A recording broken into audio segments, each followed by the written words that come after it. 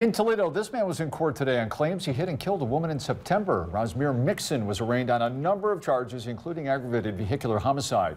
Investigators say he was behind the wheel when he hit 61-year-old Lori Klein as she was crossing Broadway near South Avenue. She died at the hospital.